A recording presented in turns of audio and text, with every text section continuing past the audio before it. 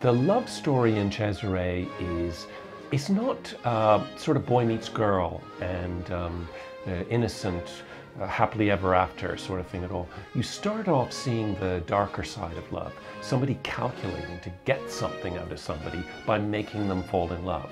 It's quite a cold eye on love, and yet the terrible and wonderful thing is it becomes more important than anything else. The politics are really extremely sophisticated. Um, and it, it's mostly because you're seeing two different political cultures clashing, each trying to find a way to translate itself for the other culture. I don't think I can think of another Baroque or modern opera that deals with political power in such a clear and uh, entertaining way.